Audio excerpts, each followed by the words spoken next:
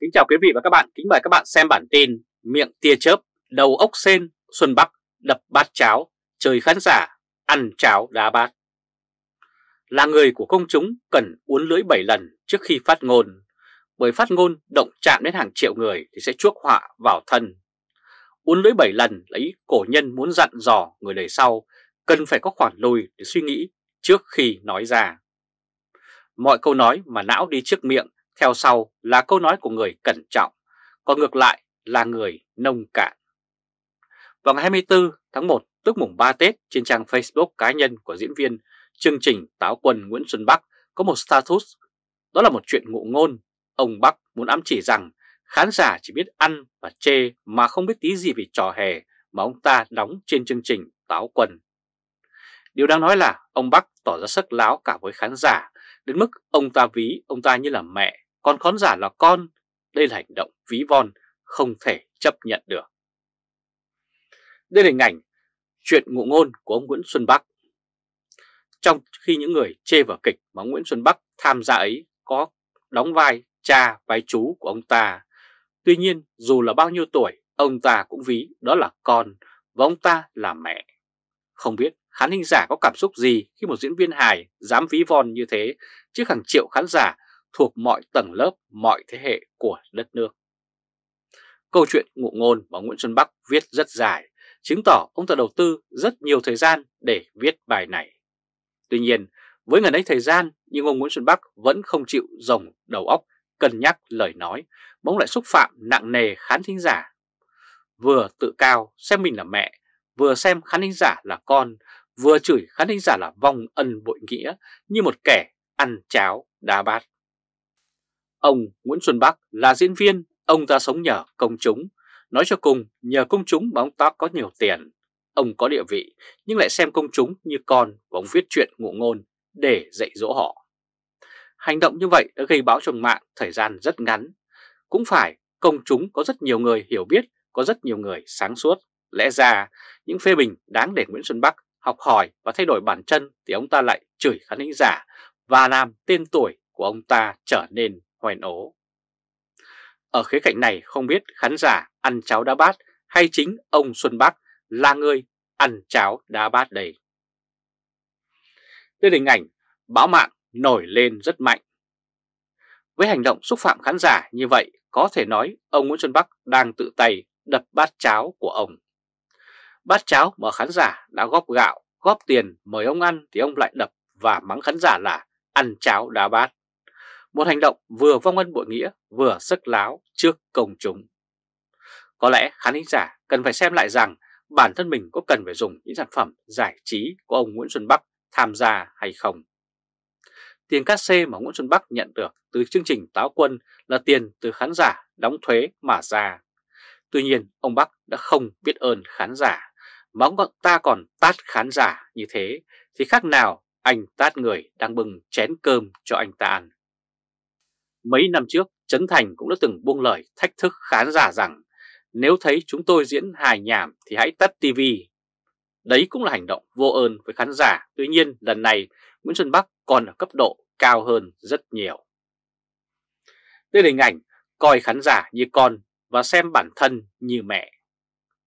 Thực ra nếu biết suy nghĩ trước, nói thì không ai lại nói như ông Bắc. Trong người phải có sự hẳn học thủ ghét khán giả lắm mới viết nên một câu chuyện ngụ ngôn như vậy. Thời gian viết đủ để cho bất kỳ ai suy nghĩ và cân nhắc, nhưng với ông Bắc thì vẫn cứ viết một câu chuyện để chửi vào mặt khán giả một cách sắc láo đến thế. Hành động của Nguyễn Xuân Bắc không ai có thể bình vực được. Hậu quả của hành động này là kết quả cần thiết. Nó cần thiết để gạn lọc bớt những con người vô đạo, vong ân bội nghĩa với khán thính giả của mình. Quý vị và các bạn vừa theo dõi chương trình truyền hình trực tiếp của Lê Trung Khoa, Thời báo chấm với bản tin Miệng tia chớp, đầu ốc sen, Xuân Bắc đập bát cháo, chửi khán giả, ăn cháo đá bát. Quý vị và các bạn hãy chia sẻ video này cho nhiều người biết và bấm nút theo dõi YouTube và Facebook của Thời báo chấm để luôn được cập nhật những bản tin mới nhất, nhanh nhất và trung thực nhất. Từ Berlin, Cộng hòa Liên bang Đức chào các bạn và hẹn gặp lại các bạn vào bản tin lần tới.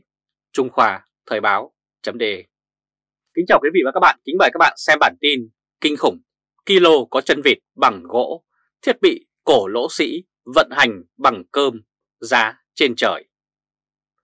Tàu ngầm Kilo là gói thầu cho thấy nhóm đạo diễn ký hợp đồng ăn quá đậm. Theo trang từ điển Bách Khoa Toàn Thư thì giá mỗi chiếc tàu Kilo dao động từ 150 cho đến 250 triệu đô la tùy theo phiên bản. Cứ lấy giá kilo cao nhất mà Nga chào hàng là 250 triệu đô la thì với số tiền mua 2 tỷ đô la cho 6 chiếc tàu ngầm tính ra mỗi chiếc kilo Việt Nam mua giá tới 333 triệu đô la Mỹ. Cao hơn giá của mỗi chiếc tốt nhất do Nga chào hàng là 83 triệu đô la Mỹ. Một bài báo viết trên tờ báo Soha vào ngày 10 tháng 6 năm 2016 đã thừa nhận những thiết bị trên tàu ngầm Kilo 636 của Việt Nam là cổ lỗ sĩ, nhưng họ bảo chữa theo hướng tốt. Trong bài báo có đoạn viết rằng đứng ở một góc độ nào đó, những công nghệ thiết bị tưởng chừng cổ lỗ vẫn tồn tại và chiếm vị trí quan trọng trong một cỗ máy hiện đại như tàu Kilo 636. Đây là hình ảnh trang từ điển Bách Khoa Toàn Thư cho biết giá cao nhất cho mỗi chiếc tàu Kilo là 250 triệu đô la Mỹ. Thứ nhất đó là tàu ngầm dùng kính tiềm vọng. Loại thiết bị này đã bị Mỹ và các nước phương Tây loại ra khỏi tàu ngầm của họ từ lâu. Bởi muốn quan sát trên mặt biển, tàu phải nổi lên nên dễ bị phát hiện. Được biết, các nước Úc đã đầu tư kinh phí thay thế trang thiết bị hệ thống quang học điện tử mới, thay thế kính tiềm vọng, vốn là điểm yếu khiến tàu ngầm lớp Collins dễ bị phát hiện. Hệ thống quang điện tử sẽ giúp tàu ngầm nhận biết tình hình ở bên ngoài nhanh hơn rất nhiều so với những gì mà mắt thường có thể thấy được. Điều này đồng nghĩa với việc thủy thủ đoàn không cần thò kính tiềm vọng ra ngoài mà tạo thêm các điểm dễ tổn thương trên tàu ngầm. Thứ nhì, trang thiết bị điện tử trên tàu ngầm Kilo của Việt Nam rất thiếu thốn. Tàu ngầm mà Nga bán cho Việt Nam là tàu ngầm chủ yếu dùng sức, nhân công nhiều hơn là những thiết bị điều khiển tự động. Đây là hình ảnh bài báo thú nhận thiết bị trên tàu Kilo là cổ lỗ sĩ. Ai cũng biết những cỗ máy hiện đại nhất thường chỉ vận hành bằng các nút bấm và theo dõi bằng các màn hình LCD nhỏ gọn sắc nét. Tuy nhiên, điều này có lẽ không hoàn toàn đúng với tàu ngầm Kilo của Việt Nam. Thậm chí còn theo chiều hướng ngược lại là đằng khác. Nếu thiết bị nào có thể vận hành thủ công được thì áp dụng thủ công. Thiết bị hiển thị nào không cần màn hình thì bỏ màn hình. Đấy là lời của bài báo trên báo Soha chia sẻ, một tờ báo bị nhà nước kiểm soát. Ở tàu ngầm Kilo, nếu thống kê loại thiết bị vận hành nào xuất hiện nhiều nhất thì có lẽ chính là các van khí. Van dầu điều chỉnh hoàn toàn thủ công. Thiết bị hiển thị phổ biến nhất có lẽ là đồng hồ có kim chỉ thị. Thậm chí đồng hồ áp suất và van điều chỉnh còn xuất hiện trong cả hệ thống xả toilet. Điều đáng nói hơn nữa đó là chân vịt của tàu ngầm Kilo làm bằng gỗ chứ không phải bằng titan như nhiều loại tàu ngầm khác. Tuy tờ báo nói rằng độ bền của chân vịt gỗ còn cao hơn cả titan, nhưng có vẻ như lời giải thích này không được thích hợp cho lắm. Gỗ làm chân vịt có thể bền hơn gỗ thường, nhưng bền hơn cả thi than thì khó ai là tin được là sự thật. Một bà đọc nói là sĩ quan hải quân xin được giấu tên cho biết rằng khi mới nhận hàng, nước sơn bên trên một số thiết bị đã bị bong chóc giống như một chiếc tàu ngầm cũ được sơn lại chứ không phải là tàu đóng mới. Anh ta nói nó giống chiếc tàu ngầm thời Liên Xô chứ không phải loại tàu ngầm của thế kỷ thứ 21. Được biết, tàu ngầm đầu tiên của lớp Kilo đi vào hoạt động trong Hải quân Xô Viết là vào khoảng năm 1982 và những tàu ngầm của dạng này vẫn đang được sử dụng bởi Hải quân của Nga. Và có lẽ nhận xét này có căn cứ bởi hình ảnh ông Nguyễn Tân Dũng thò đầu lên khỏi chiếc lỗ tròn của tàu Kilo cho thấy chiếc tàu Kilo này là hàng rất cũ kỹ, có khả năng là tàu ngầm từ thời Liên Xô được tu sửa lại thật. Giá mỗi chiếc tàu ngầm Kilo hiện đại được tự động hóa cao cũng chỉ có 250 triệu đô la.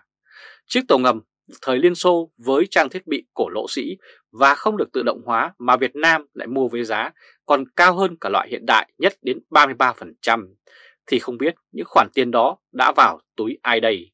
Nó trị giá nhiều trăm triệu đô la. Ông Nguyễn Tân Dũng và ông Nguyễn Chí Vịnh đều phải chịu trách nhiệm về những gói thầu mua sắm vũ khí khủng này. Quý vị và các bạn vừa theo dõi chương trình truyền hình trực tiếp của Lê Trung Khoa, Thời báo chấm với bản tin Kinh khủng, kilo có chân vịt bằng gỗ, thiết bị cổ lỗ sĩ vận hành bằng cơm, giá lại trên trời. Quý vị và các bạn hãy chia sẻ video này cho nhiều người biết và bấm nút theo dõi YouTube và Facebook của Thời báo.de để luôn được cập nhật những bản tin mới nhất, nhanh nhất và trung thực nhất. Từ Berlin, Cộng hòa Liên bang Đức cho các bạn và hẹn gặp lại các bạn ở bản tin lần tới. Trung Khoa Thời báo.de